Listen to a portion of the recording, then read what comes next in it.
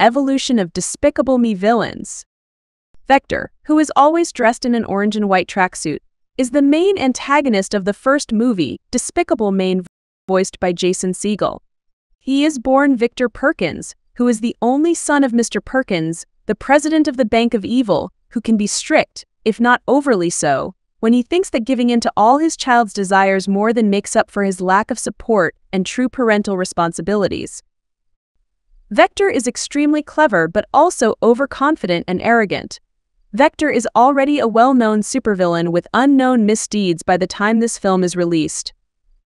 One of his deeds was the theft of the Great Pyramid of Giza, which affected Gru's pride, and Vector contended with him for control of a shrink ray and eventually the moon. Vector has an excessive liking for cookies. As a result, when the adopted Gru daughters, Agnes, Edith, and Margot, arrive to sell them, he warmly welcomes them into his fortress. Vector also appears to have an affinity for aquatic life, as he keeps an adult great white shark in a big tank in his fortress and employs innovative aquatic-themed weapons like the squid launcher and the piranha gun. Unlike Gru, Vector has no qualms about kidnapping children and taking them as hostages. Even after Gru gives him the moon, he refuses to release Agnes, Edith, and Margot, inciting an angry Gru to enter the fortress and attempt to attack him. The next supervillain in the Despicable Me franchise was a Mexican-accented Eduardo El Macho Perez, voiced by Benjamin Bratt. He was thought to have perished as El Macho after riding a shark into an erupting volcano and dousing himself with 250 pounds of dynamite. But as it happens, he actually staged his demise and went on to open a Mexican restaurant. El Macho has superhuman strength he can easily carry away and destroy a security truck with a single blow. Margot first falls in love with his son Antonio, but eventually Antonio leaves her. He intends to kidnap the majority of Gru's minions in this movie, use a chemical compound called PX41 that he stole to make them invincible and evil, and then deploy the mutated minions to important cities in order to conquer the entire world. Despite Eduardo being ruthless, dangerous, and, as the name El Macho implies, very macho, he is also shown as friendly and jovial, as well as that he cares a lot about his pet chicken, El Pollito. When provoked, however, he will seek to kill the object of his wrath, as demonstrated when he hunts down Gru and Lucy in Salsa Salsa, and when he fights Gru at his lair. In the 2015 movie Minions, Scarlet Overkill appears as the world's first female supervillain who is bent on becoming the Queen of England and served as the Minions' boss before Gru. She is voiced by Sandra Bullock. Scarlet is a clever, funny, and overbearing individual. Many people are motivated to become villains by her story of how she got there. Scarlet enjoys bragging about the amazing devices that her husband, Herb Overkill, has created, like her signature rocket dress. As demonstrated when the bad guys attempt to steal the ruby from her in Villain-Con, she also possesses some martial arts abilities and appears to be proficient in using them quickly. Although she occasionally finds the childish behavior of her minions annoying, when they work for her, she presents herself as a very considerate and caring person toward her allies. Even if it was an accident, she can occasionally be conceitful and insulting when someone makes fun of her or betrays her. She becomes enraged when a young Felonious Gru uses his freeze ray to stop her and her husband from stealing the queen's crown at the end of the movie, and he takes the crown instead. In the 2017 movie Despicable Me 3, the next villain is named Balthazar Bratt, voiced by Trey Parker.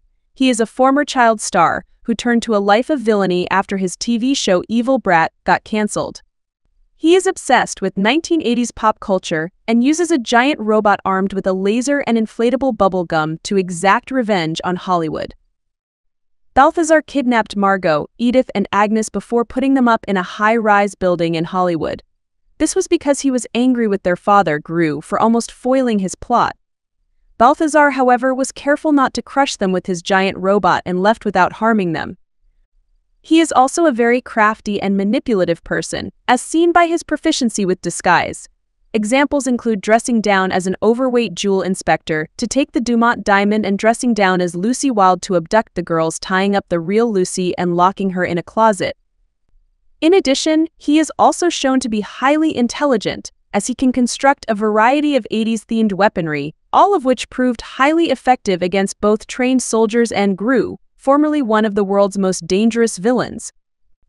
Even without his weapons, he proved himself to be a skilled fighter, as he easily overpowered Lucy and employed dancing in his fight with Gru. In the 2022 movie Minions The Rise of Gru, there appears a notorious team of six supervillains, Vicious Six. Their members include Bell Bottom, voiced by Taraji P. Henson, a blaxploitation-themed femme-sale villain and the newly appointed leader of the group after Wild Knuckles, who wants to take on the anti-villain league. Jean Claude, voiced by Jean-Claude Van Damme, a member with a giant mechanical lobster claw for his right arm who speaks in a French accent.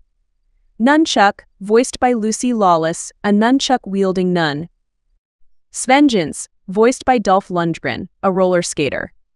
Stronghold, voiced by Danny Trejo, a member with big metal hands. Because of their notoriety, this caused them to be on the AVL's wanted list. The Vicious Six started holding auditions for a new member after they betrayed Wild Knuckles and stole the legendary Zodiac Stone for themselves.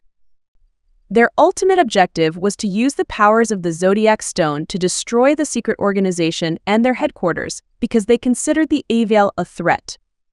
Felonious Gru, a well-known fan of the group, aspires to join the Vicious Six as their sixth member but is made fun of for his youth and small size, leading Bell Bottom to conclude that a child such as Gru cannot be a villain.